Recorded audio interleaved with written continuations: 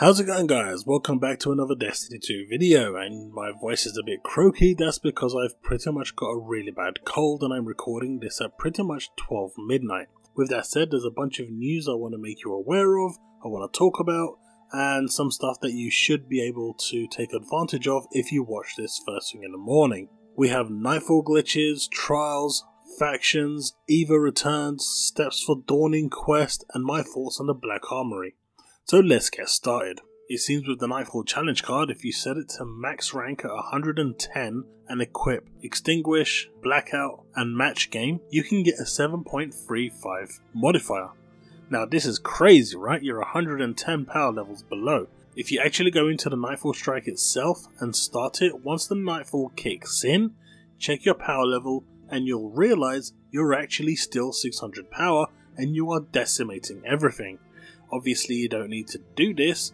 You can pretty much set it to max rank, have one of the bad modifiers on, along with heavyweight for rockets and heavies and whatnot, and pretty much go at a 5.1 modifier rate. And the great thing is, even though you're 110 power levels below, you're still at 600 power.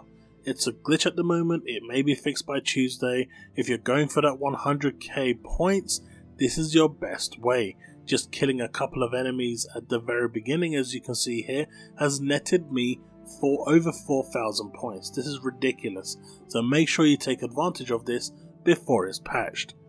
Next, I want to talk about trials and factions, and it seems Bungie have confirmed that trials and factions will indeed be missing for Season 5 as well. They were missing in Season 4, and now in Season 5 because they still don't know what to do with them. Well, here's a suggestion, Bungie. Bring back Trials of Osiris with elimination, whether it's 3v3 or 4v4. 3v3 would probably work better. Bring some of the old maps from Destiny 1 that were part of the Trials rotations. Perfect. Done. In terms of factions, return them to the way they were in D1. Provide a class item that gains XP, gains reputation, and provide the vendors with rotating weapons. Done. You see how simple this is? And it works. It worked in Destiny 1, it'll work in Destiny 2. I don't know why this is so difficult, but please make it happen. Trials of Osiris was great. Trials of the Nine is garbage. It's just competitive playlist, and half of those competitive playlists, Showdown, Breakdown, whatever you want to call them, they don't fit with Trials of the Nine. They are a competitive playlist, not Trials. So please bring back the original Trials of Osiris 3v3 elimination and that will fix this problem. It's a shame that we won't be getting it for season 5.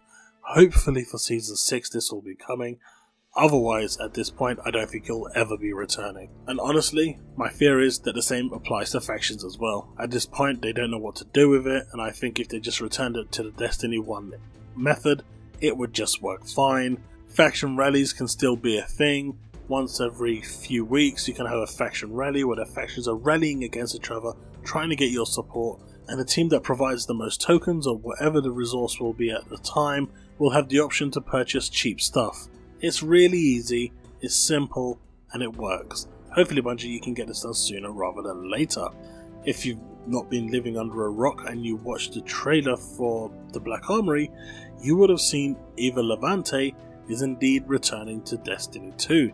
She's alive and kicking, and it seems after the horrors that Amanda Holliday performed in last year's Dawning event, having given rise to the Remove Eververse campaign, among others, it seems Eva Levante has decided to take it on board again and this time host the Dawning event. We also have the quest steps for the Dawning event with Eva Levante. Dawning, Eva's Return, as the quest is called, has four quest steps. The first one, an old friend. Eva Levante, former Guardian outfitter and now event vendor, has returned to the tower after a long absence. Go welcome her back. So she'll no longer be selling you shaders or anything like that like she did in Destiny 1, including the emblems, which is a real shame because that was her trademark.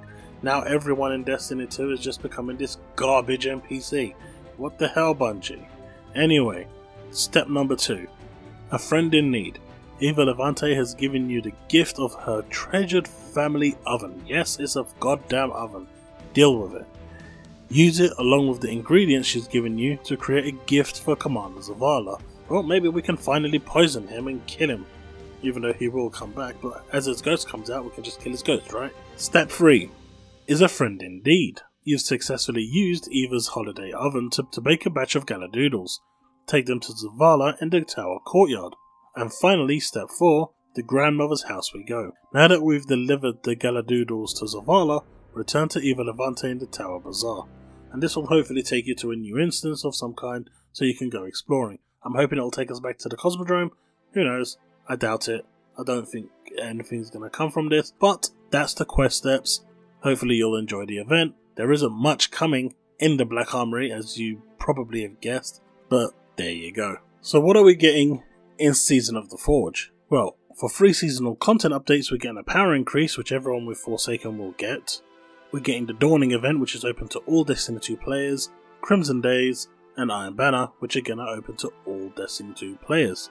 For the annual pass, we get Black Armory weapons and gear, we get Black Armory forges, four of them in fact, we get a new raid, Scourge of the Past, and finally the exotic quest, The Last Word. So now we know what we're getting with the Black Armory. There are no strikes, there is no trials, there is no faction rallies, there is no story missions, there is no cinematic cutscenes other than a spoiler you've probably seen already and the introduction to the Black Armory itself. But all in all, in total, there is no formal story in this.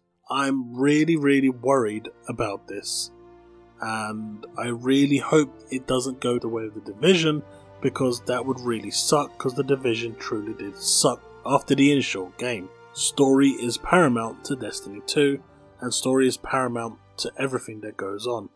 So I really hope that the Forges will actually live up to their expectations. I hope the raid will keep us busy longer than the Last Wish did because as of right now essentially all we're getting is four forges which are time gated and a raid. That is it. That is all we're getting for free for a month. Really hope that the forges are going to be amazing, that they're going to be game changing, they're going to be revolutionary. I really hope they are. Just to recap Nightfall Glitch, go get your 100k score. Trials and Factions are not coming for Season 5. Eva returns. Quest steps in the video earlier. And yeah, that's pretty much everything I wanted to cover in this video. I hope you've enjoyed it. Remain legend.